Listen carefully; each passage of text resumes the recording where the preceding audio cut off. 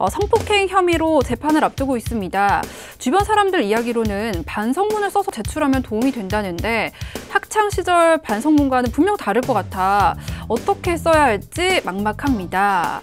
자, 일단 뭐 반성문이다라고 하면 우리 최 변호사님이 어떤 저서를 냈을 만큼 일가견이 있으시잖아요.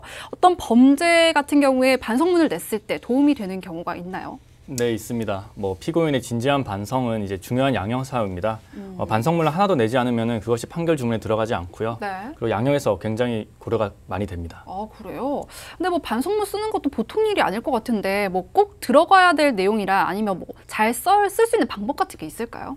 네, 일단 글씨의, 글쓴이의 진심이 좀 담겨 있어야 되고요. 진심을 담아야 네. 그리고 자신이 어떤 그 범죄를 저질렀는지 명확하게 인식을 하고 글을 써야 합니다. 음. 그리고 다음으로 더 중요한 게 그 죄로 인해서 피해자가 어떤 피해를 입었는지를 명확하게 알고 그것에 대해서 먼저 반성을 한다는 얘기를 맨 처음에 적어야 됩니다. 아, 그러니까 정확하게 인식을 하고 거기에 진정성을 좀 담아야 될것 네, 같네요.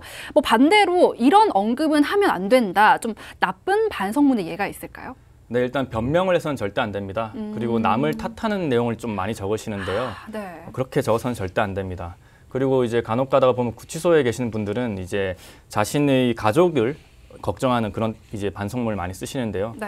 그런 거 좋은 반성문 아닙니다. 왜냐하면은 오. 이제 피해자의 가족은 눈물만 흘리는 게 아니거든요. 네, 보면 맞아요. 더 이제 극단적인 선택을 하시는 분들도 계시기 때문에 네. 자신의 가족이 안위를 걱정하거나 이런 반성문은 절대 안 됩니다. 네.